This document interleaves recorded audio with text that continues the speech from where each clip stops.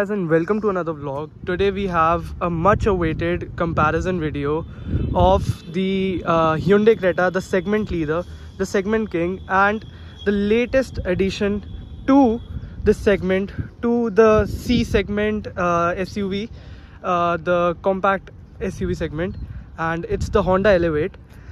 Now this is the all new Honda Elevate the SUV which Honda launched after six years uh, and uh, it's the latest addition to their family. And this has been around for almost six years. This got a facelift uh, in 2020 and uh, this is the uh, post facelift model. Now we'll start with the headlights of the Honda Elevate. We get LED setup here. We get LED DRLs and LED turn indicators as well the headlight uh, throw uh, is uh, decent enough. Uh, the spread is decent enough uh, as I've compared it in other videos. And we get fog lamps here LED fog lamps no side curtain. Now let's start with the grill. The grill has a polarizing design. You might not like it in the start but it will grow on you definitely. This SUV has a butch stance. It has a flat bonnet. And that's that makes it a very very commanding SUV and uh, which the Hyundai Creta doesn't have. The Hyundai Creta has a more streamlined body and uh, a linear design a soft design uh, where Hyundai actually excels. Now talking about the Creta we have LED setup here too. We have LED headlights but the fog lamps are halogen and the indicators are uh, in bulb they are not in led talking about the grill of the hyundai creta uh, it comes in chrome finish and there's matte finish in between. The grill of both of these cars is huge. And now let's talk about the tire size of the honda elevate. Now we get a tire size of 215 55 r17 and here we get a tire size of 215 uh, sorry 215 R70 both SUVs get alloy rims and this one gets a silver finish and this one gets a diamond cut dual finish. And if we talk about the wing mirrors this one gets a lane watch camera which is Honda's uh, lane watch camera which is also in the Honda City. And this one doesn't get any lane watch camera or the 360 camera setup as you can see here. And the length of this car is around 4300 millimeter and the length of the Honda Elevate is 4315 millimeter. The height uh, has the Honda Elevate has an advantage of the height uh, by 30 millimeters and the Creta height is around 1635 millimeter.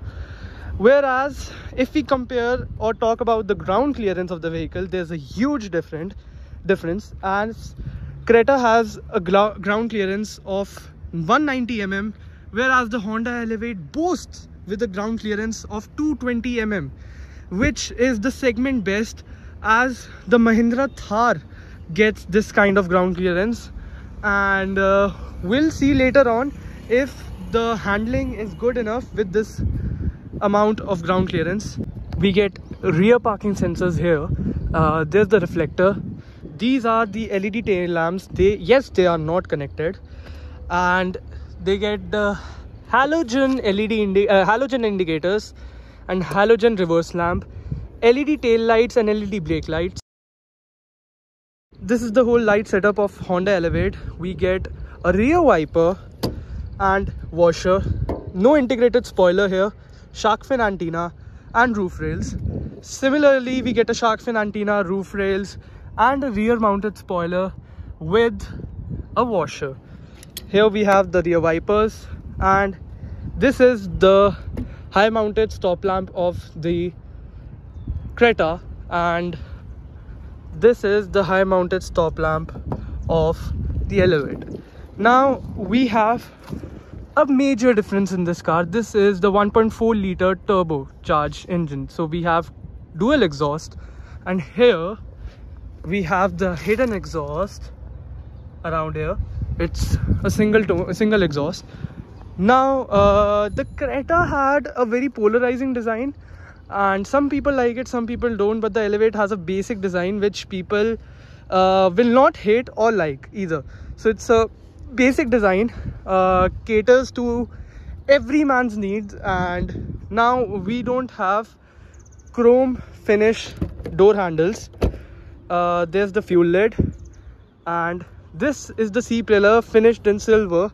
Whereas in Elevate there's no such case. We have chrome door handles. Now in Honda Elevate we get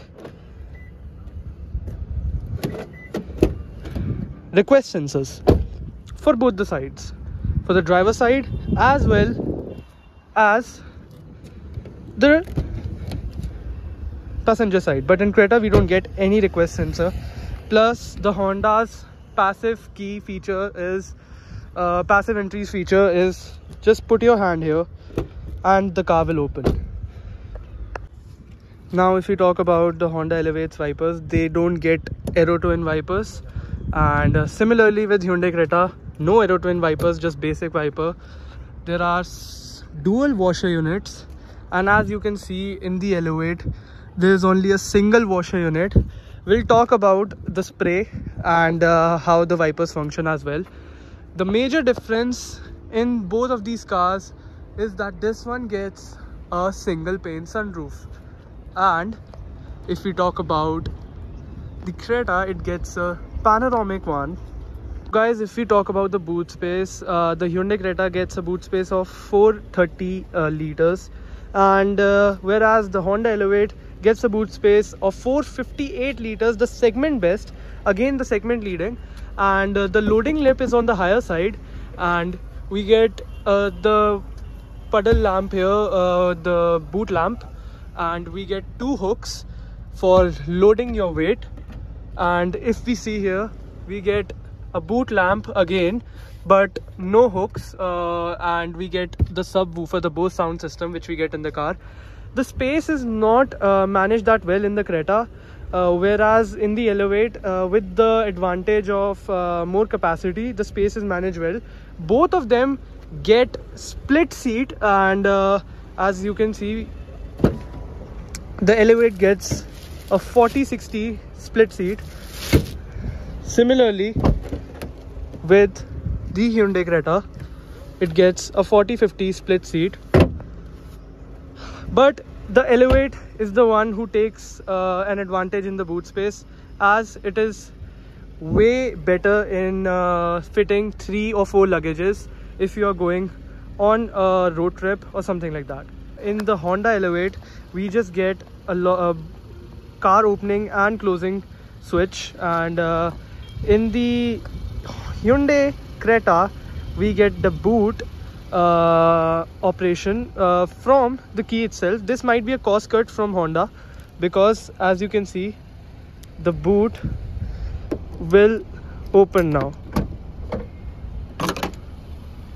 talking about the getting in and out uh, situation of the Honda Elevate, the ingress uh, of the Honda Elevate. So it's pretty easy, uh, unlike a sedan. And uh, as you can see, I have ample amount of legroom here and decent amount of headroom. Uh, but it is only comfortable for two passengers in the rear seat behind and it's not really comfortable for the third passenger as there is a big hump here and if I want to get out it's simple and easy this seat the front seat is adjusted to my height and according to that I was getting good amount of legroom and here also this driving seat is positioned uh, to my height and my specs uh, the way I sit. And we have a lot of legroom here if for the, uh, if we compare for the passenger seat as well. Uh, on the other hand if we compare the seat adjustment we have manual seat adjustment if both for height and uh, as well as recline angle so this is something uh, different from Hyundai Creta. As Hyundai Creta gets an electronically adjustable six-way adjustment of the seat and uh, the thigh support is not that great here but it's adequate uh, for someone uh, who's who'll be 5 uh, 10 height uh, of 5 10 height. And all the drivers touch points are soft here. There are soft pad on the doors and as you can see everything is uh, suitable to driving uh, perspective. The bonnet is clearly visible. The seating height is brilliant. Ventilated seats are offered in the turbo variant of the Hyundai Creta, but if we do a fair comparison, Honda Elevate's ZX and Hyundai Creta's SX variant, both of them miss out on the ventilated seats as they fall in the same price bracket. So we can't say that Honda Elevate is missing a big feature because the Hyundai Creta does not get it if you go for the naturally aspirated variant of the Hyundai Creta as well. Moreover, the semi-digital instrument cluster is offered in the Hyundai Creta's turbo variants and not in the variants which come with naturally aspirated engines, whereas the Honda Elevate's VX variant and the ZX variant both offer 7-inch digital instrument clusters. So we have uh, this gear lever uh, which is really nice to hold. And uh, we get in the reverse uh, gear of the car. We have four parking sensors and uh, guidelines as well. Now uh, I'll talk about the electronic parking brake which the Honda Elevate does not get. And as well as a very important feature in broad Indian summer daylight which many people need now is the ventilated seats. As it cools down the seats uh, really well and we definitely needed this feature in the Honda Elevate but they did not give it.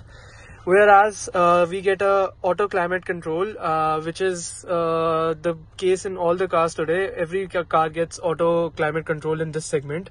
We get auto uh, headlamp with follow me home function same as uh, the, uh, in the elevate. We also get paddle shifters in the elevate in the cvt variant we also get paddle shifters. Here we have the auto foldable mirror and uh, all the other power uh, buttons. For example here we have one touch up and down for the driver window but not for any passenger window. The this is the similar case in the honda elevate. The engine start stop button and the dedicated traction control button now uh, here we also get the primary feature which hyundai creta has sold so many units which is the panoramic sunroof and uh, I'll open the panoramic sunroof using the BlueLink function. How can I help you? Open the sunroof. Opening the sunroof.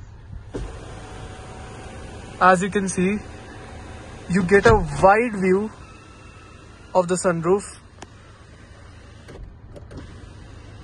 And we get a huge sunroof in the Creta. It brings a lot of airy feel in the cabin.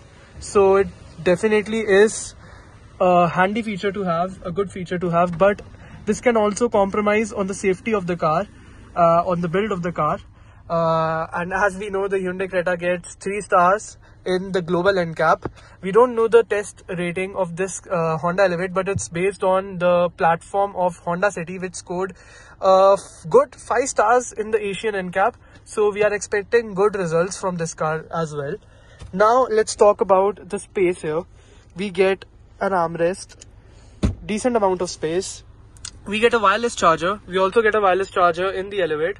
And here we have the infotainment screen the infotainment screen is really slick to use uh, as all the Hyundai and Kia units they are very slick to use and the touch response is just out of this world. Uh, no other car gives you this kind of touch response.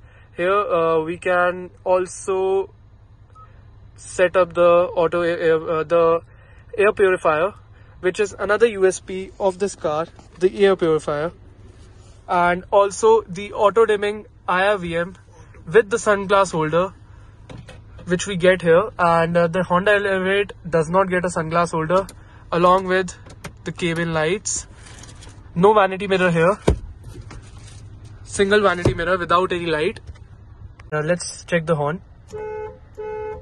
And we have the digital instrument cluster part digital instrument cluster and various drive modes which the honda elevate doesn't get the snow mud sand and if we want drive modes like eco sport and comfort we also get height adjustable seat belts which we do not get in the Honda Elevate.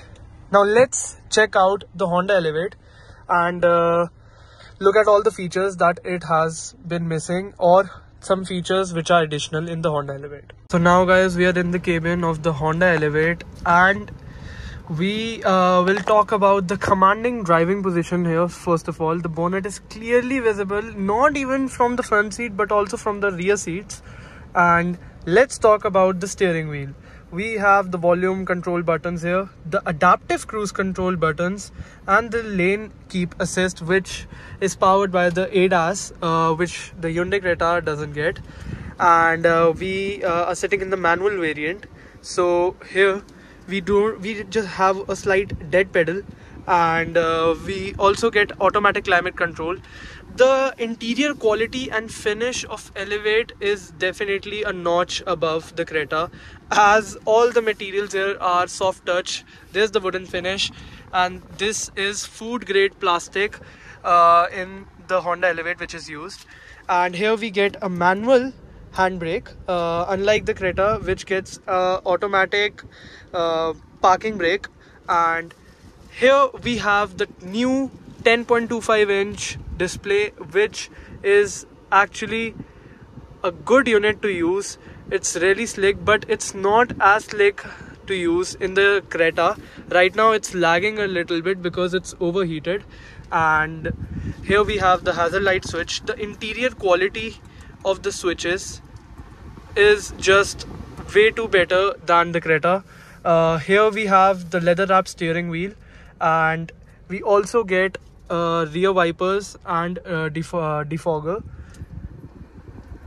as you can see here. And we also get uh, follow me home auto headlights and the engine start stop button the traction control and all the other features uh, for example the auto foldable ORVMs uh, all these switches are illuminated uh, not the passenger ones but the driver side window is one touch up and down and we also have an auto dimming IRVM in this car. Now we get an 8 speaker system here. Uh, it's not a branded system uh, like the Hyundai Creta which has a Bose uh, premium 8 sound speaker but uh, here we get two tweeters in the front, uh, speakers on the door pad as you can see here and uh, two tweeters in the back as well. The door handles are finished in not in the chrome material but in silver polish. And we have a visible cost cutting here which is a screw. Similarly as we can see here this is also the result of cost cutting. We have a mirror uh, not with a light on the driver side a mirror with a light which is a great feature to have. Uh, we also have single pane sunroof unlike the Hyundai, Hyundai Creta. Now uh, indians are a big fan of sunroof. Uh, particularly in my opinion sun a bigger sunroof is not uh, really required but it is a good feature to have but it also compromises on the safety of the car. And here we'll open the sunroof. Yes that's how far it just goes. This is the opening and we'll close it as it's heating the cabin a lot. Now uh, the quality of this sunblind is too flimsy according to me. Uh, it shouldn't slide as easily as I'm able to slide it. And here we have LED cabin lamps but no sunglass holder. And here we also have a power outlet a 12 volt char charging socket a wireless charger and a dedicated button to turn on and turn off the wireless charger along with USB A ports not USB C. Uh, we have twin cup holders here and decent uh, holders for uh, in the door pads for uh, storing your bottle. The glove box is not cooled but it is wide enough. And if we talk about the armrest uh, decent size space in the armrest now let's talk about this button. Uh, this helps us to control the instrument cluster brightness and uh, here as i'm increasing the brightness yes in the day mode it will increase. Now let's talk about the part digital part analog instrument cluster. Uh, where here we have the tachometer. Here we have the range and fuel which is showing us the average of the vehicle the speed and time and the g-force meter uh, again the creta gets all these features but this unit is subjective to looks. Uh, according to me it's uh, the elevates unit is a little subtle and uh, not too shiny on the eyes if you drive at night a lot. And we also uh, get uh, we also don't get any drive modes as it's a manual transmission. We get six speed manual transmission and now let's talk about one main feature which the Honda Elevate is missing is the height adjustable seat belts. And it offers a door handle again on the driver side which the Hyundai Creta does not offer but it does get the height adjustable seat belt which is a miss in the Honda Elevate along with ventilated seats which is a very important feature to have as Indian summers get very hot and we do need that. The quality of the seat is just way above any car in this segment not just creta any car above the segment because the leatherette upholstery that honda uses is just too premium. And similarly the fit and finish of the vehicle hard plastics down here hard plastic above but softish material here hard plastic again. The plastic used here is a little cheap but again we can work with that. Now guys let's uh, get on with the drive review of the Hyundai Creta.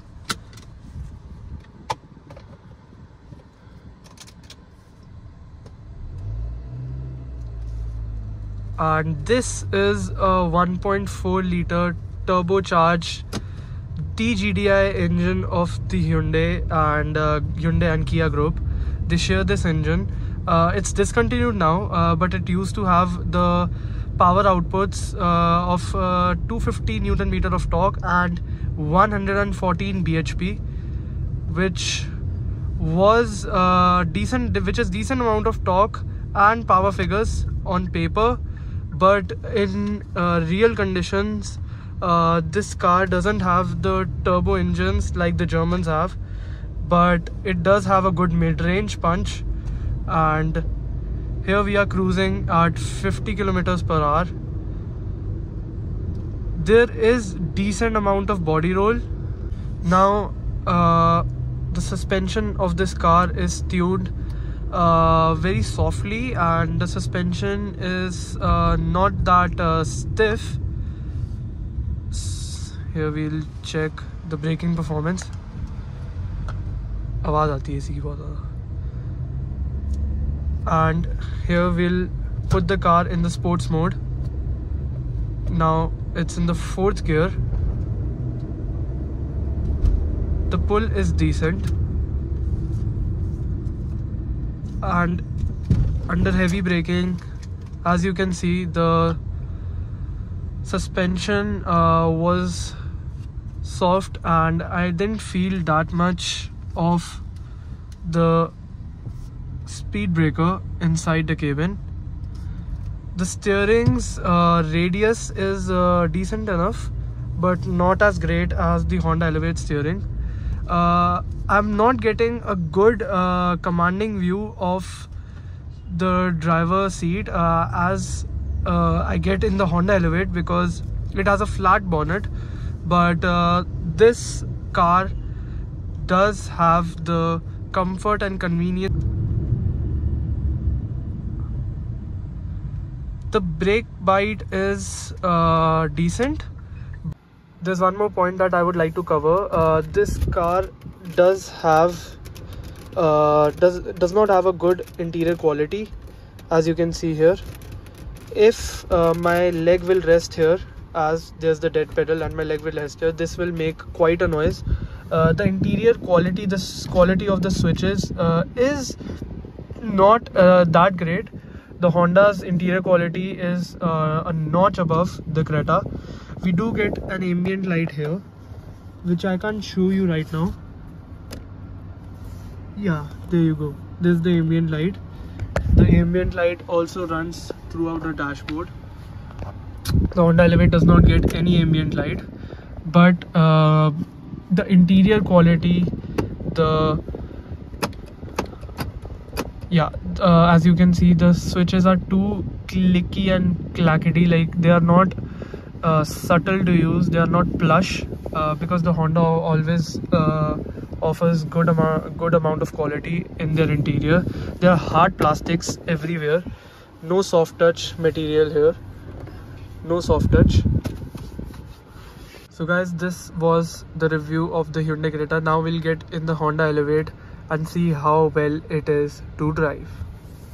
Okay guys so now we are in the Honda Elevate and to turn off the hazard light and we'll go on a short drive and see how the car handles how the car is where how the car drives on a highway and we'll check whether there's good amount of body roll.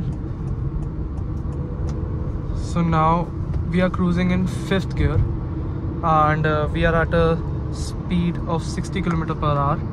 Honda has just outplayed everyone in terms of suspension. See there was a bad patch of road and i feel like i glided all over it. Honda has done such a brilliant job in the driving dynamics. The steering is so good to hold. It weighs up decently at higher speeds. There's the lane watch camera as you can see. And uh, the steering holds up decently well at higher speeds and it's so light at lower speeds. So the steering does not have that gimmicky feel uh, which I was talking about in the Hyundai Creta. The Elevate being an SUV with about 220 millimeters of ground clearance and absolutely 0.5 uh, percent of body roll. That means it's it, the body roll is so well controlled the tuning is just on another level of this car. Now there is this in-gear acceleration noise. If I want the car yeah between now it's not coming right now but if I'll get in the third gear uh, you will hear that in-gear acceleration noise which definitely is not uh, you know an iVTEC characteristic but yeah here you can Th that noise that noise. Yeah as soon as it comes in the power band as soon as the iVTEC starts to wake up you will definitely feel the power of this engine seating position is just so good. Like I feel like I'm sitting in a segment above car like I'm sitting in a Fortuner or an Endeavour definitely because this flat bonnet makes me point the vehicle anywhere. I can point the vehicle anywhere and it will go there. That's the level of confidence uh, the seating position is giving me. And uh, we definitely have ADAS in this car. Uh, I can show you how ADAS how the the ADAS will work above the speeds of 70 kilometers per hour. But yeah this engine is so refined at lower speed. Now if I want to cruise in sixth gear. And we'll see uh, we'll just test out how the car will pull through in a higher gear.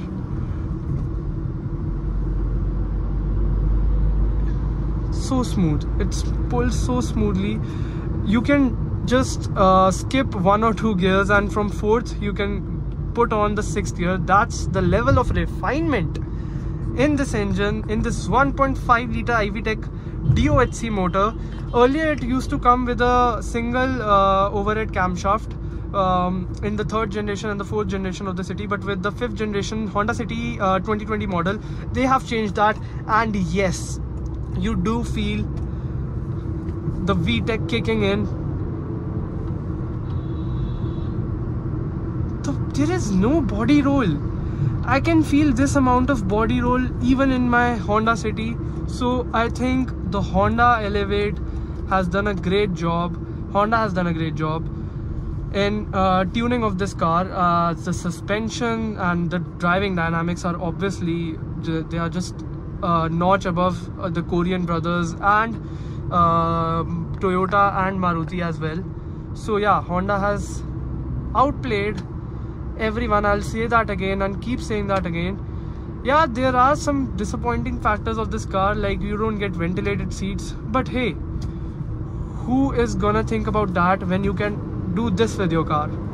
It is indeed a fun to drive SUV now we'll test the brakes. Yeah the brakes are uh, the brake bite is good enough. It comes in uh, early and uh, uh according to me the brakes are uh, more sure-footed than the Hyundai Creta's brakes but not as sure-footed as the Skoda Kushaq or the VW Taigun's brakes. And um, yeah the Hyryder's suspension is just on another level. The Hyryder uh, uh, takes on bad roads easily. So if Hyryder is a 20 this is a 19 this is my opinion. The horn uh, sounds really good.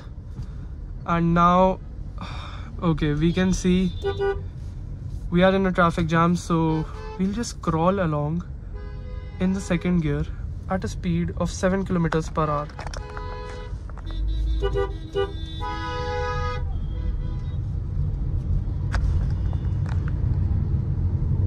now I'll put on the fifth gear from directly from the fifth gear and yeah the car is lifting up on a hill like it's a slope and the car is lifting up easily